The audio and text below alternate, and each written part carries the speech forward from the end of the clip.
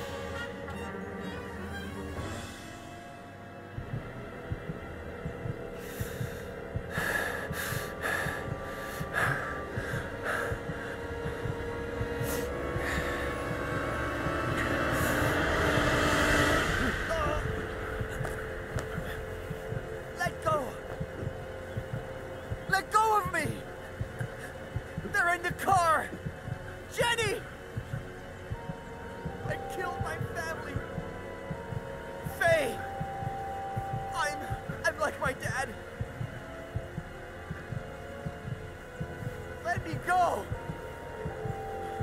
I'm like him!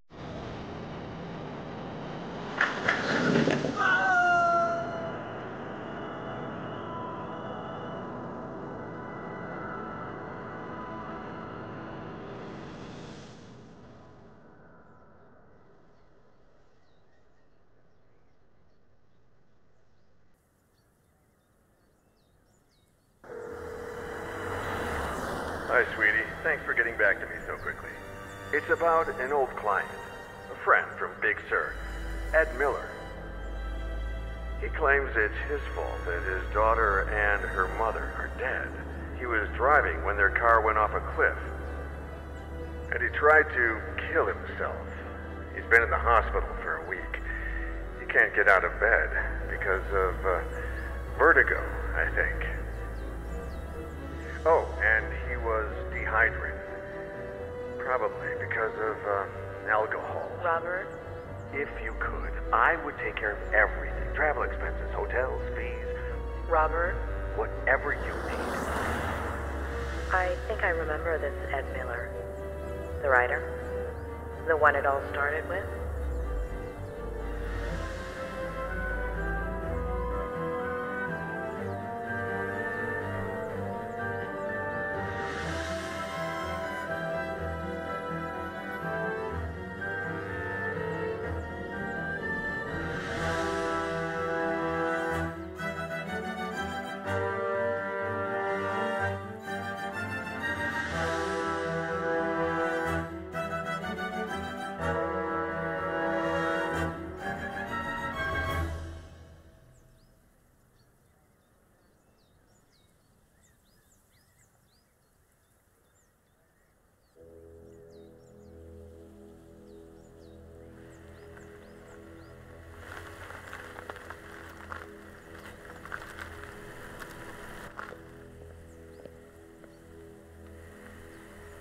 Claire Miller. I'm Dr. Lomas. Robert Kerrigan asked. Doctor, you have no idea how grateful I am to you for bringing Ed home. It's a long drive from LA.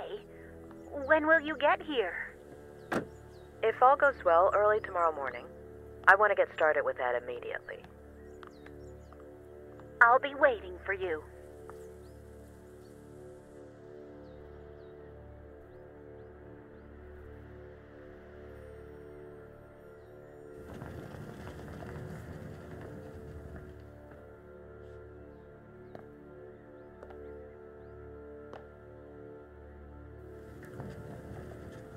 Pleasure meeting you, Ed.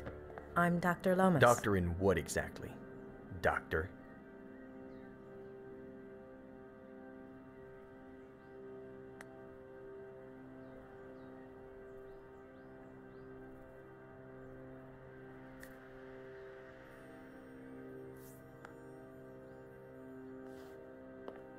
Bachelor's in psychology from UC Berkeley.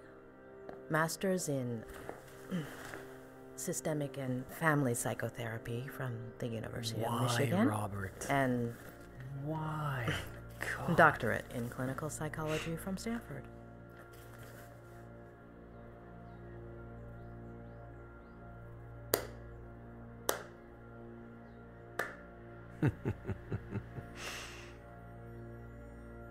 Why? Hmm. I'll give you free reign over my memories, my trauma, my room, my troubles. You got one hour. One.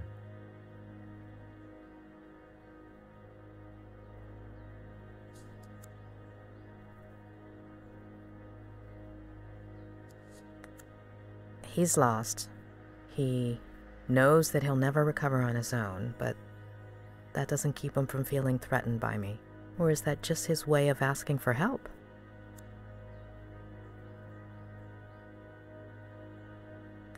The patient shows no signs of injury to the inner ear. This rules out any physiological cause. This could be a case of acrophobia with neurological origins in the recent traumatic episode, as you suggested. What about his daughter and that woman? Do we know anything? On paper, Mr. Miller has no children. As for that woman named Faye, there's nothing. However, with regards to your request to treat him outside of the hospital, He's my patient, doctor.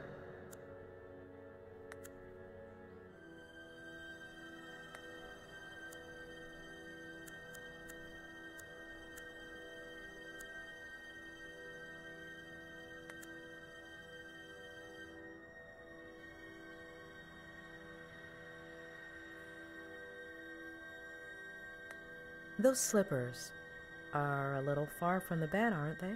Very subtle, Doctor.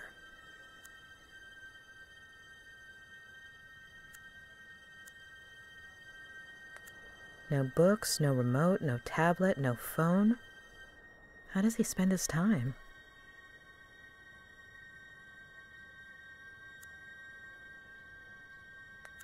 Sorry to insist, Dr. Leonard, but the patient's dizziness, nausea, anxiety are triggered by what exactly? anything, even just taking a few steps. The clock is ticking, Doctor. About that. Straight to my troubles, huh? With all of those degrees, I'd have expected a little more psychology? Nobody's wiping my ass, if that's what you mean. I'll take nauseated over nauseous any day.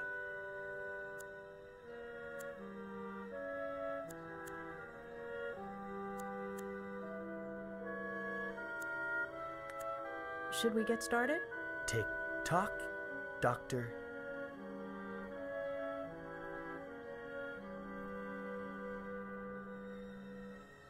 How do you feel right now? Pretty fucking shitty. Like when some idiot comes and pours salt on your wound. Hmm? If you're only going to give me an hour, it could at least be a fruitful one. Shitty?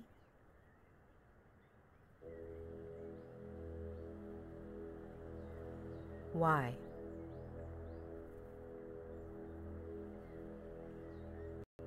Why? Because I lost a daughter? Because I killed two people? Because everyone treats me like I'm crazy? Because I pee in a bottle from a Dali painting? Because everything is surreal? Because. because of you. Does shitty work, or do you want me to keep going?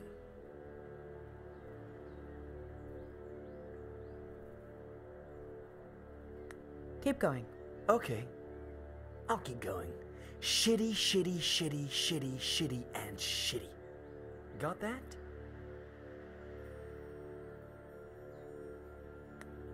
You say it's your fault that your daughter and her mother died?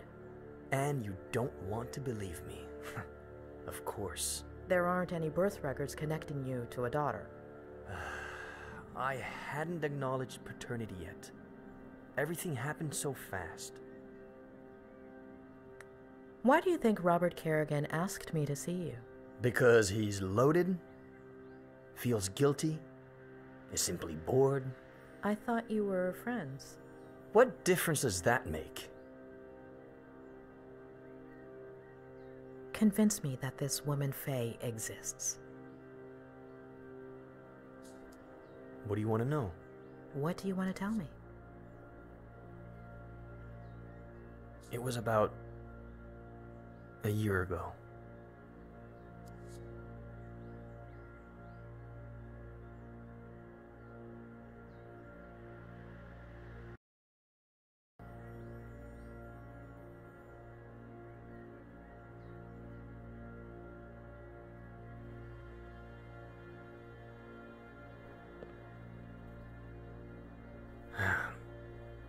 I just sat down to work. I'd had writer's block for years. But I remembered something I'd made up in an interview. And here today to talk about how to revive your creativity is Ed Miller, author of Face to the Ground, our book recommendation of the month. Ed, can I call you Ed? Welcome and congratulations. Thank you. Though I wasn't too sure you took bribes. Pretty good caviar, right? Just to be clear, you're joking here. Remember, you're on public radio. Even better, no one's listening. all right, all right. So, Ed, have you ever experienced blank page syndrome? Constantly. And uh, how do you deal with it? I do a kind of. I don't know. Warm up? If the mind doesn't want to start, then we have to ask the body to. So I let my eyes search for a starting point.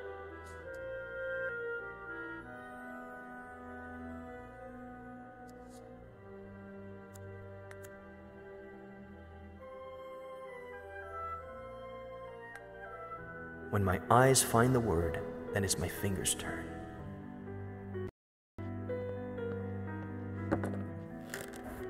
I let them write whatever they want after that word.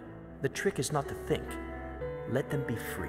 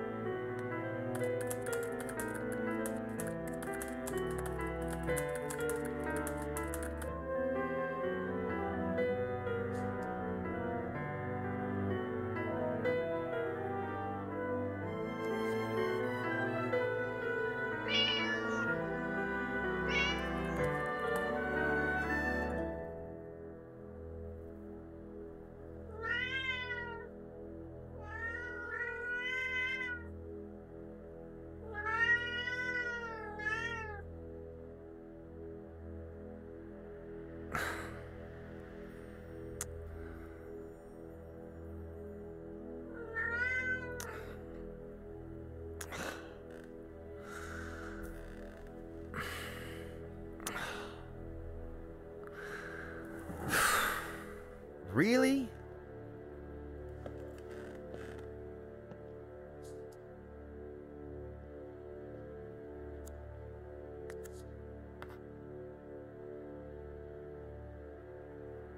Hi. Guess who's calling? I bet you don't even know how I got your number. The thing is, I'd like to see you again.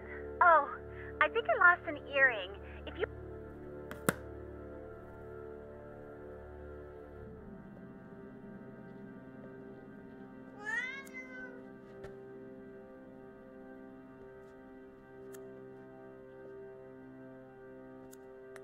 Do I hear higher? Remember, its original owners. No doubt it was put to good use considering their history of depression.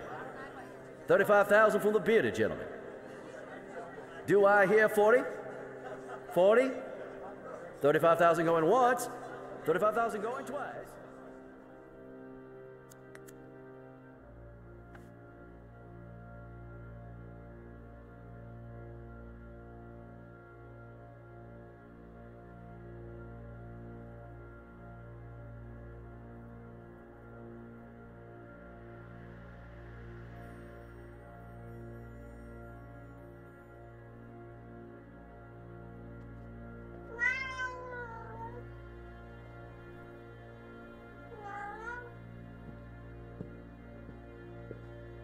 Meow.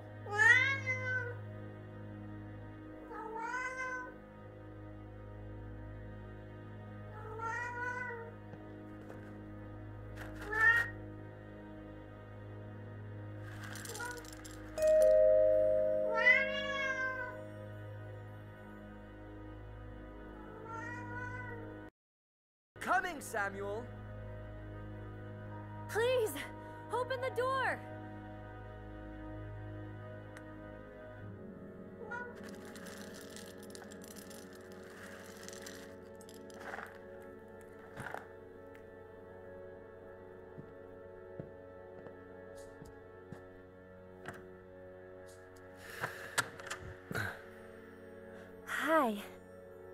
Uh.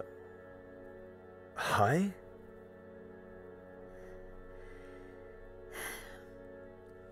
It hurts.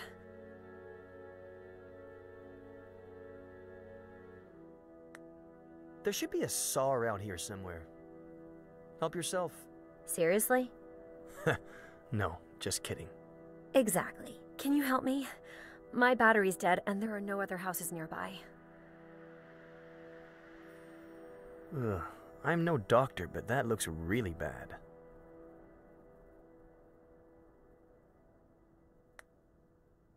Um, I'm kind of in the middle of something, but I'll take you to the hospital. No, don't.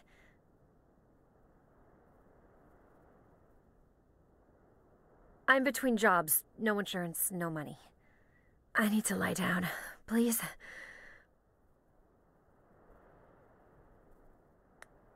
Okay. Well, come in. Let's take a look at it. If you bleed to death, you mop it up.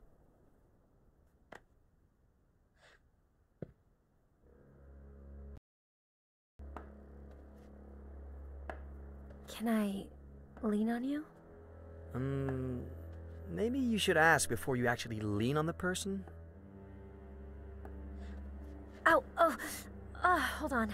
Slower. Oh, Hold on. Um, Not so fast.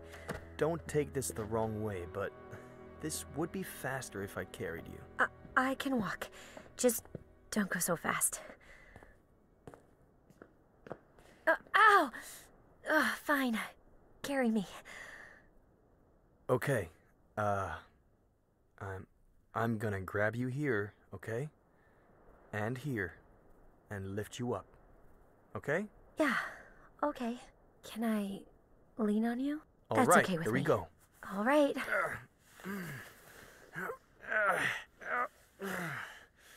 Hey, am I that heavy? If you had taken your backpack off. Okay. I'm going to let you go. Hold on, hold on. Let me take my backpack off. Now? You want my back to hurt too? Mine already does. All right. May I? You may. Do I? Please do. All right. Oh. Phew. Finally. Thank you.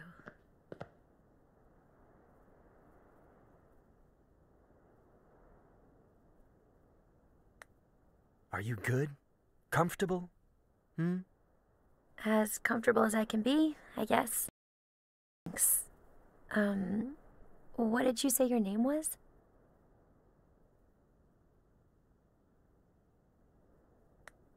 Take a guess.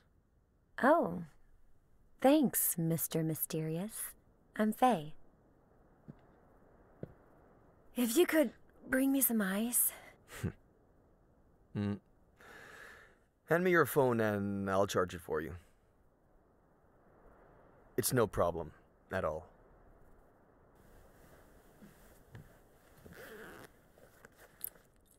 I left my car outside the Force Park entrance. I'll go over there and let you be once the swelling goes down. All right?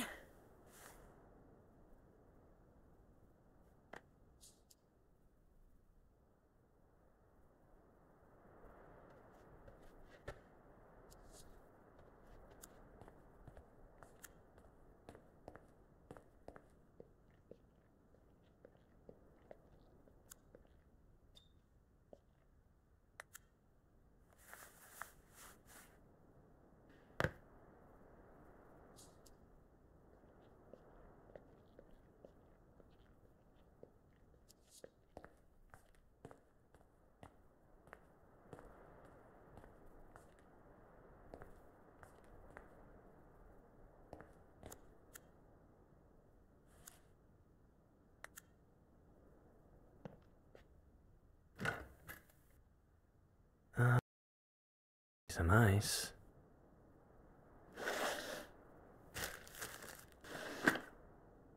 Yeah, I can.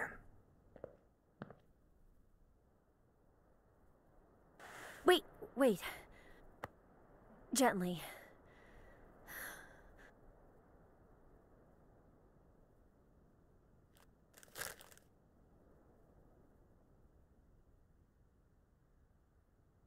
Oh, perfect.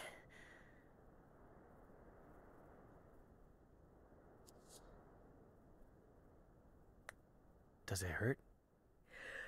It'll fall asleep with the ice. So will I.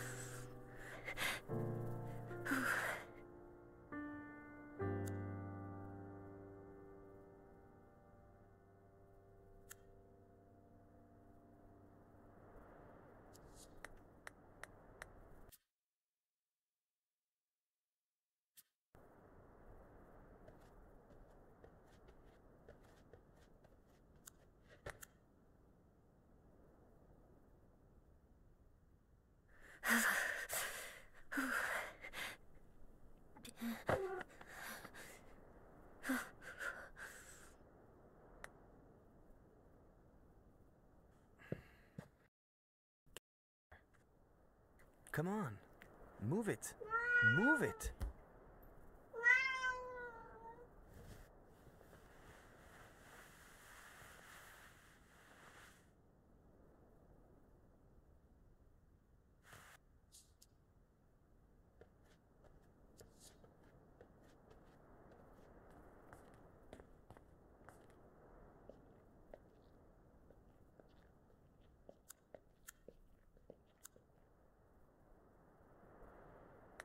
Ugh, it still needs a good while.